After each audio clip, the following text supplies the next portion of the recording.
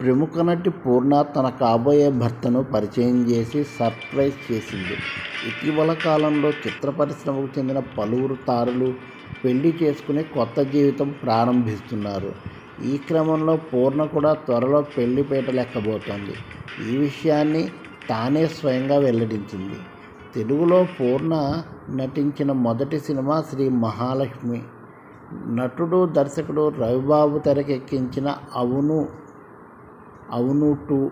అలాగే అల్లరి నరేష్ హీరోగా నటించిన సీమ టపాకాయ్ చిత్రాల్లో హీరోయిన్గా నటించి టాలీవుడ్లో మంచి గుర్తింపు తెచ్చుకుంది పూర్ణ.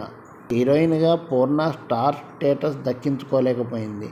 దాంతో తనకి అవకాశాలు తగ్గిపోయాయి.